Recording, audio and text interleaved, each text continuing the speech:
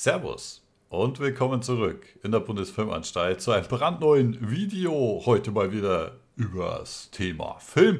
Ich habe die letzte Zeit ähm, ja eigentlich bloß Let's Plays hochgeladen, die zwar keiner anschaut, aber es ist wurscht, weil es macht mir Spaß äh, zu zocken und euch daran teilhaben zu lassen. Und äh, wer Bock drauf hat, der kann sich äh, das Conan Exiles Let's Play natürlich gerne anschauen, aber ich will natürlich auch einmal wieder äh, Videos zum Thema Film machen, so ein bisschen. Ja, deswegen heute am, ich weiß gar nicht, wie viel ist heute überhaupt, das siebte? Also das äh, neue Jahr, genau, ist ja jetzt schon ein paar Tage alt. Ähm, deswegen, weil ich jetzt seit dem Jahreswechsel noch gar kein äh, Video in der Form hochgeladen habe, wünsche ich euch natürlich allen ein, ein ganz wunderbares gutes neues Jahr. Ein bisschen verspätet, aber besser spät als nie. Ich hoffe, ihr seid alle gut reingestartet. Ähm, bei mir war tatsächlich die erste Woche jetzt, muss ich sagen, wirklich äh, recht äh, turbulent. Ja, äh, muss ich sagen. Ähm, aber durchaus auf ähm, recht angenehme Weise turbulent. Ja, und äh, das passt schon. Also das Jahr startet völlig wahnsinnig eigentlich, ja, bei mir zumindest. Ähm, ihr könnt es mir ja gerne mal in die Kommentare schreiben, wie es äh, bei euch so war. Ich meine, Silvester ist bei mir immer so, äh, ich bin da eh, also Silvester geht mir eigentlich wirklich am Arsch vorbei, ja. Äh, mir würde auch nicht einfallen, da irgendwelches Zeug da in den Himmel raufzuschießen. Ich meine, es reicht schon, dass ich das Geld verrauche, ja, also das ist auch nicht recht viel schlauer, ja. Aber ich würde es jetzt nicht in den Himmel rauf äh, pulvern, weil da kaufe ich mir lieber was Schönes dafür. Deswegen, aber meine, wer da Bock drauf hat, der soll das natürlich äh, gerne tun. Ja, keine Frage. Ja, aber ich habe da nichts Besonderes gemacht an Silvester. Ich habe ein paar Filme angeschaut. Das war eigentlich ganz nett. Und äh, das passt dann schon. Dann kann man ein bisschen rauskürzen vom Fenster. Naja, was man halt so macht, wenn es halt dann umballern und so. Äh, dieses Jahr waren sie ein bisschen wahnsinnig. Ich glaube, so die letzten Jahre jetzt mit Corona-Pandemie, äh, da waren die schon alle total geil drauf, einmal wieder rumzuschießen. Ist halt so. So, äh, ansonsten, wir machen heute so ein bisschen äh, Monatsupdate für Dezember noch. Äh, das steht nämlich noch aus. Es ist, also für meine Verhältnisse ist es sehr wenig. Ja, wirklich sehr, sehr wenig. Ähm, obwohl ich auf der Filmbörse war am 18.12. Da habe ich gar kein Video hochgeladen, weil ich fast nichts gekauft habe. Da war ich mit dem Andi wieder, mit dem Film for Live Andi. Äh, der hat ein Video dazu gemacht. Genau. Ich nicht. Das war, wie gesagt, so wenig. Äh, ich gesagt, das muss ich warten bis zum äh, äh, bis ich eh Monatsupdate mache und dann äh, habe ich wenigstens ein bisschen was beieinander. Ähm, es sind ein paar Mediabooks, äh, ein paar Blu-rays und äh, natürlich auch wieder ein paar Platten. Aber allzu wild war es gar nicht. Ja, ähm, jetzt im Vorfeld, kurz weit, wie gesagt, viel zum Zeigen habe ich gar nicht. Ein äh, bisschen so kurz, äh, so allgemein, was gerade los ist. Ich habe jetzt wieder äh, ein paar Videos geschaut. Ich habe jetzt wirklich die letzten Wochen äh, im, in diesem ganzen Filmbereich jetzt auf YouTube quasi nichts angeschaut. Und jetzt habe ich mir mal wieder so das eine oder andere Video reingezogen und ich muss sagen, alter Vater, was ist na da los? Ich habe jetzt auf einige Kanäle schon wieder, ich meine, diese Videos, die kommen alle paar Monate wieder. Streaming gegen physische Medien. Äh, lohnt sich Sammeln noch? Habe ich überhaupt noch Bock auf Sammeln? Habe ich überhaupt noch Bock auf YouTube? Äh, läuft mein Kanal gescheit? Weiß der Geier was? Ich meine, jetzt einmal ganz ehrlich, ich, mein, ich, ich finde es immer recht unterhaltsam. Ja. Ich schaue mir dann schon immer das eine oder andere Video an, auch wenn es immer wieder das gleiche Xoda ist. Äh, letztendlich war es mal die vergangenen Monate schon hundertmal gehört habe. No front, wirklich. Leute, macht Videos äh, zu Videothemen, wo ihr Bock drauf habt. Das ist überhaupt kein Thema, das ist jetzt bloß meine Meinung dazu. Nur ganz ehrlich, dieses ewige Streaming gegen physische Medien, ich meine, was ist denn das da für Debatte? Äh, ich schaue mein Zeug an, wo ich will und wann ich will. Ich habe äh, das Zeug als Blu-ray und DVD im Regal. Ich habe drei Streamingdienste abonniert. Halt's mich für blöd. Es ist halt so. Ich habe halt drei Streamingdienste. Und wenn ich da schauen will, schaue ich da. Und wenn ich da schauen will, schaue ich da. Es ist mir wurscht. Das eine schließt doch das andere nicht aus. Das ist doch völlig egal. Ich kann doch machen, was ich will. Und äh, ich meine, es ist doch klar, dass irgendwann so dieses Mainstream-Zeug, äh, Mainstream-Blu-ray und so weiter verschwinden wird. Das ist eh klar. Dafür gibt es einen Haufen Labels, die jetzt gesagt haben, naja, dann machen wir halt jetzt irgendeinen anderen Schmarrn. Es gibt so zwei große Zielgruppen. Zum einen die gerade so in den letzten Jahren entstandenen äh, Mediabook-Sammler, ja, die völlig wahnsinnig sind. Ich kaufe selber Mediabooks, also ne, ich, ich habe ja für vieles Verständnis, aber was da teilweise abgeht, ist ja völlig wahnsinnig. Und da haben natürlich einige Label längst erkannt, dass es sehr lohnenswert ist, mit null Aufwand irgendwelche Repacks auszuknallen mit irgendwelchen tollen Cover-Artworks und die zu völlig überteuerten Preisen zu verhökern. Mit ganz speziell dicker Einschweißfolie für die OVP-Sammler, dass da ja nichts passiert. Ich meine, ihr müsst mal überlegen, ich bin ja in ein paar Facebook-Gruppen. Und in einigen, das kannst du nicht ausdenken, da beschweren sich dann die Leute, weil sie einen Folienriss haben bei einem Artikel. Ja, um Gottes Willen, das Ding ist ja quasi nichts mehr wert. Das Absurdeste, was ich die Tage gelesen habe, war eine Frage, wo eine nette Dame in einer Facebook-Gruppe dann tatsächlich äh, zwei Mediabooks hatte, zwei vom gleichen Titel mit zwei unterschiedlichen Covers und dann gefragt hat, ob es die auspacken soll oder besser zulassen ja Leute, da bin ich halt fertig. Also entweder will ich den Film anschauen, dann will ich es auspacken müssen, ansonsten wird es schwierig oder ich lasse halt bleiben. Ich meine, was ist denn das für eine Frage? Da frage ich in der Facebook-Gruppe jemand anderen, ob ich den Scheiß auspacken soll. Ja, da frage ich mich dann wirklich langsam, ob ich in Blödmannshausen bin. Entschuldigung. Ja, no front, wie gesagt. Ja. Aber das ist so das eine Klientel, also die äh, Mediabook-Sammler, die halt wirklich alles, einfach alles kaufen. Es ist wurscht, ob das das billigste Repack von 5 Euro vom Grekel, Grabbel, Kisten, Titel ist, ist ja völlig egal.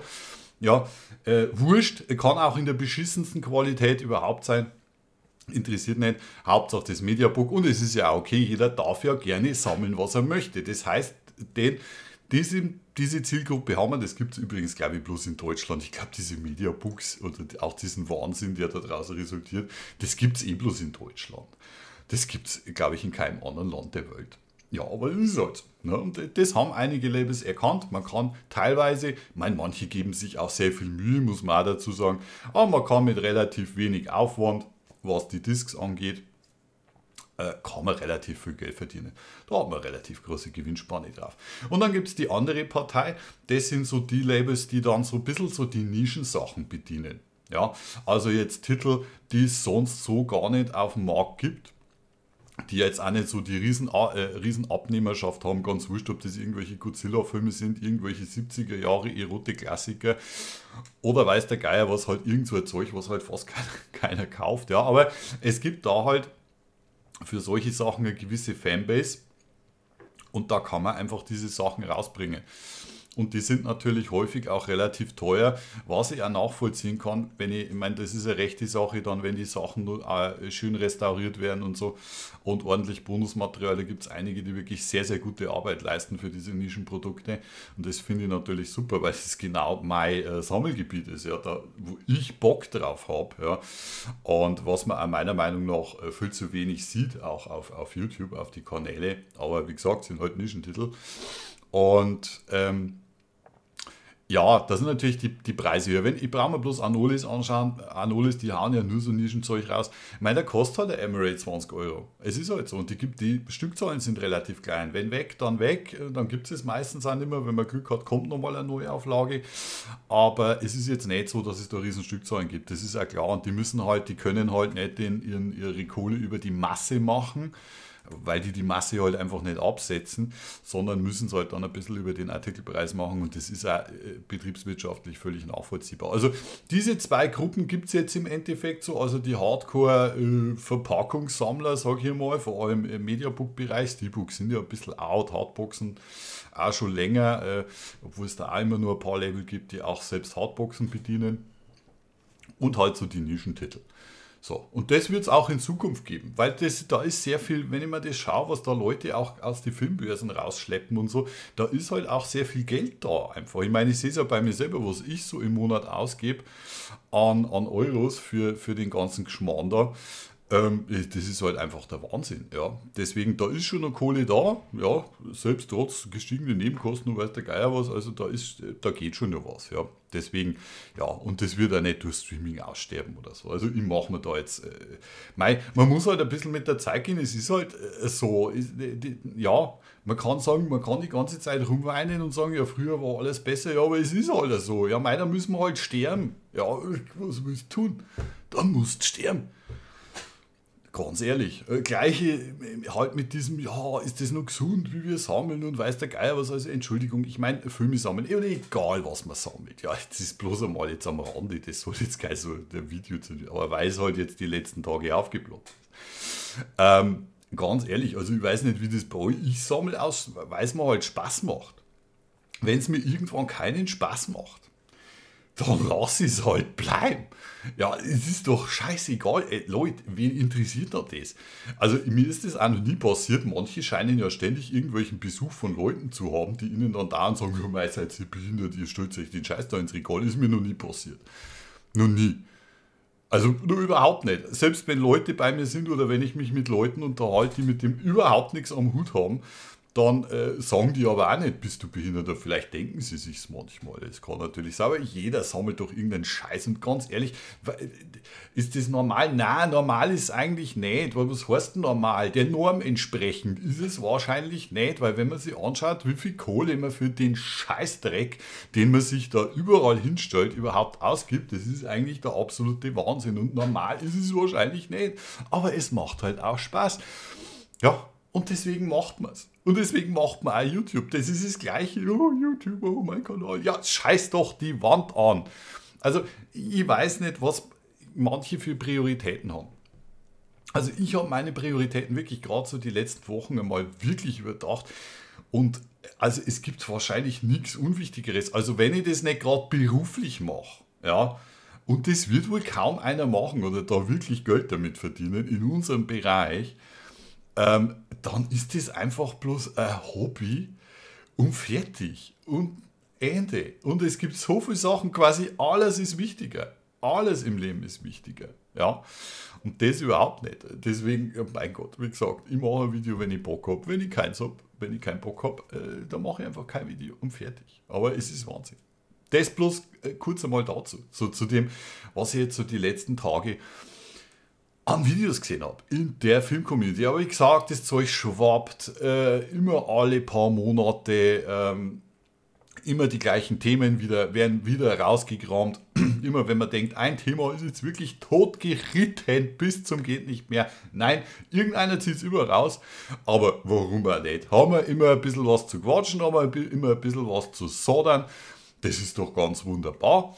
Und jetzt machen wir aber weiter mit meinem Monatsupdate für Dezember 2022, dass wir das jetzt auch endlich einmal abgefrühstückt kriegen. Ja, da wird es nämlich schon längst Zeit. Und heute habe ich endlich einmal Bock, ein Video zu machen. Und Zeit. Ja. Es geht los mit äh, Blu-ray äh, Amaris. Ja, Blu-ray Amaris. Da habe ich mir zum einen mal mitgenommen auf der Börse in Nürnberg. Äh, Gibt es auch als Mediabook von Cine Strange. Ich habe mir bloß das Keepcase mitgenommen, weil ganz äh, hier Krull. Äh, was steht drauf? Eine Welt Lichtjahre jenseits unserer Vorstellungskraft. Da bin ich gespannt drauf. Den gibt es, wie gesagt, auch als Mediabook, aber der hat jetzt da 15 Euro gekostet äh, im Keepcase und das sind halt 20 Euro weniger als das Mediabook. Das ist halt das gleiche Cover. Ja, es ist im Endeffekt wurscht. Ne? Also, ich, ich meine, bra da brauche ich halt einfach kein Mediabook. Ist angeblich auch limitiert auf 500 Stück. Ich weiß nicht, ob das stimmt. Äh, ist eigentlich auch völlig egal. Ich meine, ich weiß nicht, warum man jetzt auf die Idee kommt, da ähm, Amaris zu limitieren, aber ja, es ist halt so. Ne? Krull, einmal, habe ich noch nicht gesehen. Muss ich erst mal anschauen.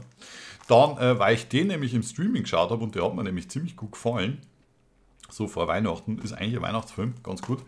Ähm, The Advent Calendar. Ja, und der, äh, was steht drauf? traust du dich, das erste Türchen zu öffnen? Ähm, da geht es halt um dieses Mädel da im Rollstuhl und die bekommt von ihrer besten Freundin zu ja, zum Geburtstag, ähm, der irgendwie ja kurz vor Weihnachten ist, einen Adventskalender aus Deutschland, aus Deutschland geschenkt. Und ja, der Adventkalender kann praktisch äh, Wünsche erfüllen, ja, aber man muss Opfer dafür bringen, ja. Das heißt, es kann sein, dass da Menschen sterben. Und wenn man einmal angefangen hat mit einem Türchen und die Schokolade gegessen hat, dann muss man auch weitermachen, weil sonst stirbt man nämlich selber. Interessanter Film, hat mir tatsächlich sehr gut gefallen, ist eigentlich was Nettes äh, so zu Weihnachten, beziehungsweise halt für die, äh, für die Adventszeit. Hat mich wirklich überrascht, hat mich sehr gut unterhalten, war sehr spannend. Auch mit einem interessanten, recht offenen Ende, muss ich sagen. Äh, kann ich euch empfehlen. Ich meine, es ist Weihnachten rum, aber wurscht. Ne?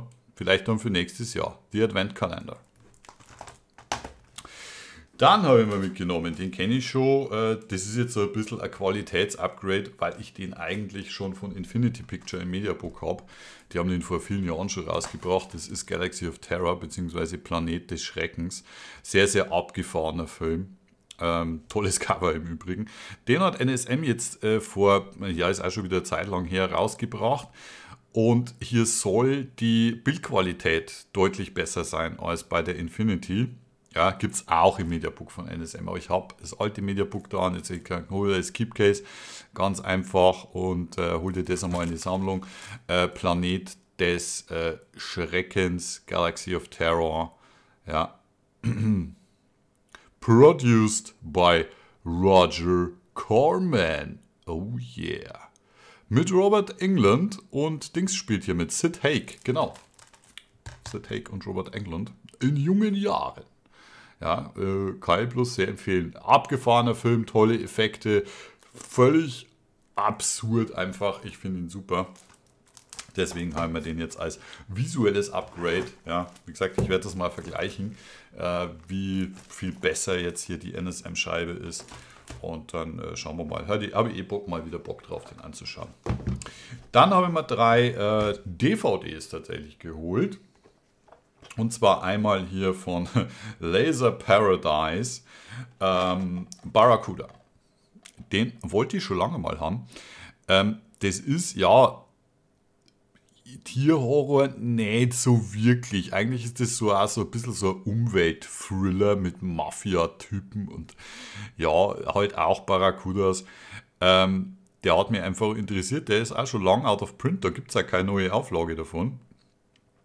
Ähm, ich habe es relativ günstig gekriegt, aber ich glaube, der hat auch trotzdem 12 Euro oder was kosten. 12 Euro für äh, Laser Paradise Veröffentlichung ist ein Haufen Geld, weil die ist technisch halt nicht so gut.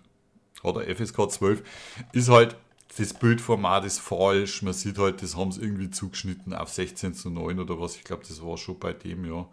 Bildformat nach 4 zu 3 Vollbild. Der ist aber nicht in Vollbild gelaufen, glaube ich. Das war ganz komisches Bildformat auf jeden Fall. Ähm, ja, technisch nicht gut, aber der Film ist nicht schlecht. Barracuda. Wie gesagt, gibt es bloß in dieser Laser Paradise Auflage. Dann auf der Börse in Nürnberg mitgenommen, weil ich den jetzt endlich einmal anschauen wollte und ich habe ihn schon angeschaut, ist äh, Tokyo Gore Police von Dragon ja, hier einfach bloß in der DVD. Den gibt es auch auf Blu-ray, den gibt es auch in einem Mediabook. Kostet dermaßen viel Asche, das kannst du überhaupt nicht ausdenken. Und ich wollte jetzt einfach mal sehen, habe ich für einen Zehner einfach mal mitgenommen äh, auf, der, äh, auf der Börse. Ähm, ich hoffe ja und ich, ich spekuliere ja drauf, dass der vielleicht die nächste Zeit irgendwann einmal von 8 Films kommt das wäre halt super. Ähm, würde ich mir sofort holen. Äh, abge völlig abgefahrener Film. Also wenn man auf so Asias Blätter scheißen mit total behinderte Ideen steht, der ist wirklich, wirklich super. Tokyo Gore Police. Dann haben wir auch noch für einen Zehner mitgenommen. Den gibt es bisher nur auf ähm, DVD, da gibt es keine Blu-ray, soweit ich weiß, davon. Und das ist hier äh, Vampire Girl vs. Frankenstein Girl. Den habe ich noch nicht gesehen. Der ist nur eingeschweißt. Das ist so ein Digipack von Dragon, was es halt früher so gegeben hat. Ne? Uncut Edition. Das ist halt auch so ein Asias Blätterzeug. Ja. Wenn man sowas mag, glaube ich, sind diese Titel äh, schon recht, recht spannend. Ich habe da ja einige. Ja ähm, und äh, Mutant Girl Squad und, und äh, hier Mashing Girl und, und was es nicht alles gibt, ja. Und die sind wirklich nett. Vielleicht kommt der auch mal von, von 8 Films raus. Auf Blu-ray, ja. Vampire Girl vs. Frankenstein Girl für einen Zehner. Mein Gott. kann man das schon mal, äh, schon mal mitnehmen, auf jeden Fall. Denke ich. So, weiter geht's. Äh, mit, das war klar für mich natürlich, dem Steelbook zu, zur ersten Staffel von House of the Dragon in 4K. Ja, Gott sei Dank. Ähm, ich habe ja schon eigentlich gebangt, dass der vielleicht womöglich überhaupt nicht physisch rauskommt bei uns. Ähm, ich habe mir die ja im Stream angeschaut, die Serie fand es großartig. Die erste Staffel war einfach super. Ja, sofort Game of Thrones Feeling wieder direkt dabei. Ähm, hat mir sehr gut gefallen, deshalb natürlich logisch hier äh, in die Sammlung reingekommen. Mit Matt Smith zum Beispiel. Ähm, wahnsinnig gut. Ja, generell toller Cast. Ähm, und, und einfach richtig gut. House of the Dragon Staffel 1 äh, auf äh, Blu-ray äh, äh beziehungsweise auf 4K im Mediabook. Und dann habe ich mir geholt, weil das einer meiner Lieblingsfilme von Tarantino ist, vielleicht der beste, den er jemals gemacht hat, neben Part Fiction mit Sicherheit. Das ist, und das ist ein schönes, relativ schönes Steelbook, muss ich sagen. Äh, Reservoir Dogs. Ja, in diesem Steelbook, da ist so ein Klarsichtsschuber drüber. Ich habe es jetzt noch nicht auspackt, da ist so ein Klarsichtsschuber drüber, ähm, wo man dann, wo es dann das Ohr runterschippt, wenn man das äh, äh runter. Ich weiß nicht, ob es irgendwo schon, gibt es bestimmt schon Unboxing irgendwo, könnt ihr mal schauen, äh, wie das dann ausschaut in 4K. Mein Fokus spinnt heute ein bisschen sich auf. Ich hoffe, ihr werdet, äh, ich hoffe, ihr werdet nicht besoffen. Ähm, weil der Fokus da so ein bisschen rumäumelt. Ich verstecke mich mal einfach dahinter. Ja, Reservoir Dogs, den, ich meine, den muss man eigentlich gesehen haben. Das ist so, äh, das ist wirklich auch so ein Stück, Stück Popkultur. Ähm, Tarantinos, ja, äh, erster richtiger Film. Ja, und ähm, mit einem tollen Cast, einfach nur völlig äh, genial und, und richtig, richtig gut. Wie gesagt, neben Pulp Fiction äh, mit Sicherheit der beste Film, den er äh, abgeliefert hat. Genau. So, dann kommen noch ein paar Mediabooks. Ja. Und zwar einmal ein Ray Harryhausen. Ja, und zwar das Grauen aus der Tiefe im Mediabook von äh, Anulis, oder? Ich glaube, es ist Anulis. Ja, Anulis. Ja, habe ich mir geholt. Mit einem Tentakelmonster. Ja, Stop-Motion Tentakelmonster. Sehr, sehr schön. Fantastische aus der fantastischen Filmklassikerei von Anulis. Sehr, sehr schön. Gibt es, glaube ich, auch noch ein anderes Cover, aber das finde ich super hier. Genau. Dann haben wir reinbekommen, da wird es noch ein Unboxing definitiv geben. Ähm, und zwar ist das von Excessive Pictures. Ähm, hier Black Emanuel, alle Lüste dieser Welt. Äh, die haben ja auch schon Black Emanuel in Amerika gebracht den Skandalfilm mit Laura Gemser und hier jetzt halt den nächsten. Ähm, da kommt aber noch einer, soweit ich weiß. Black Emanuel. Ja, nett.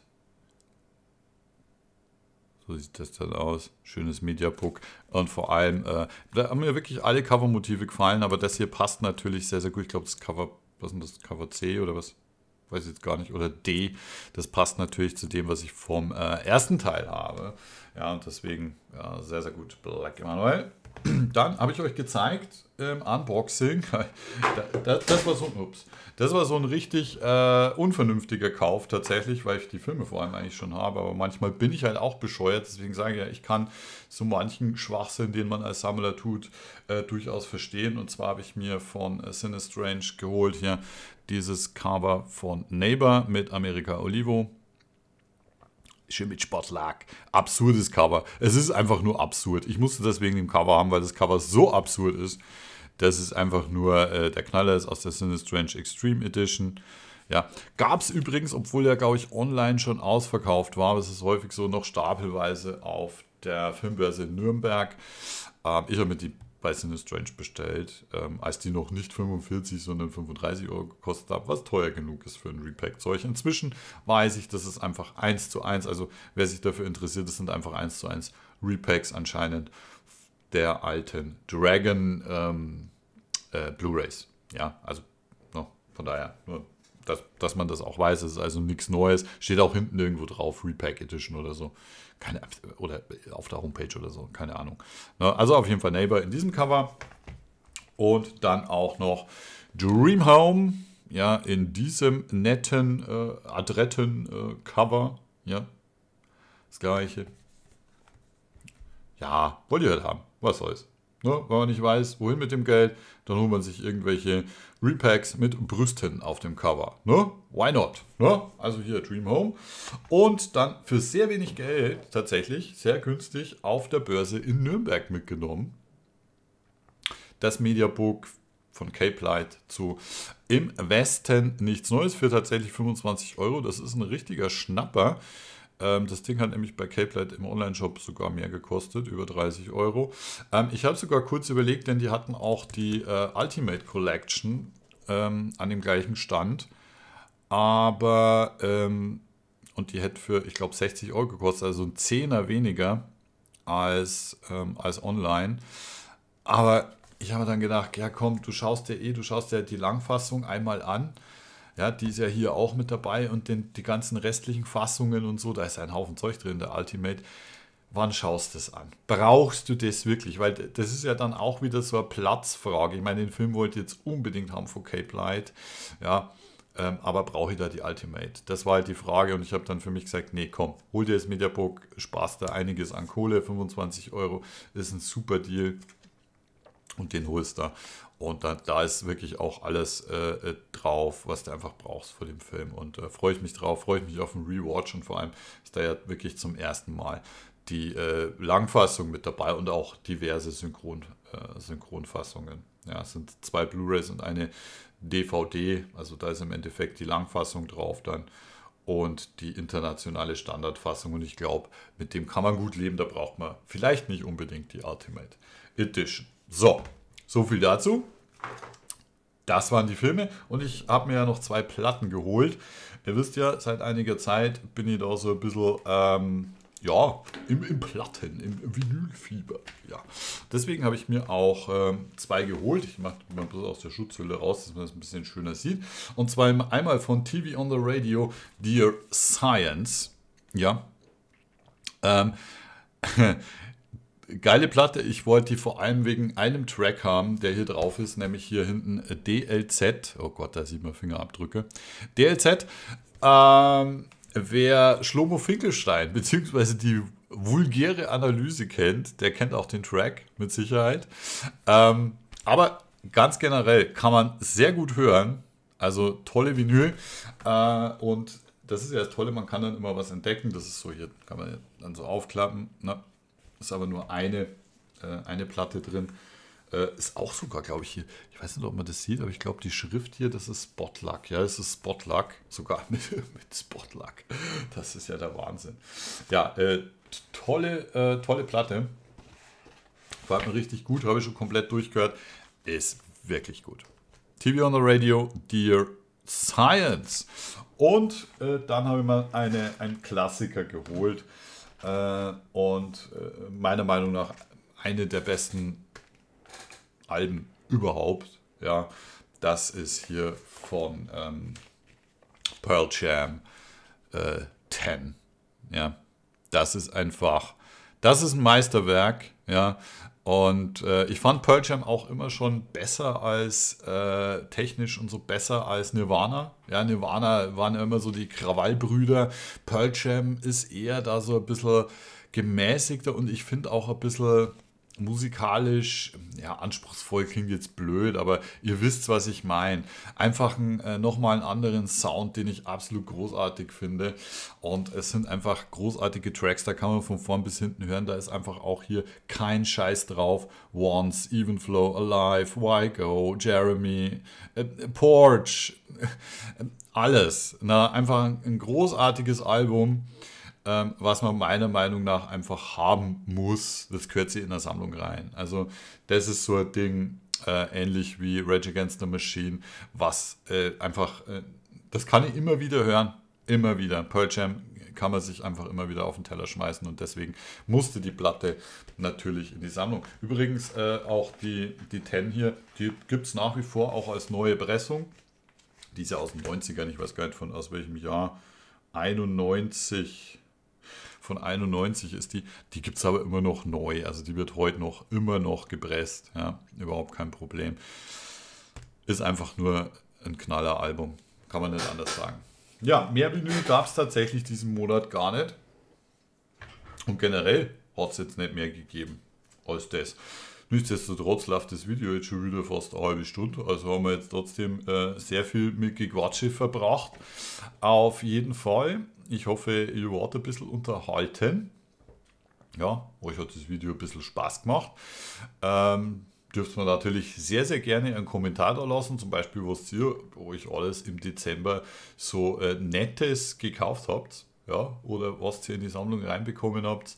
Ähm, da würde ich mich sehr drüber freuen.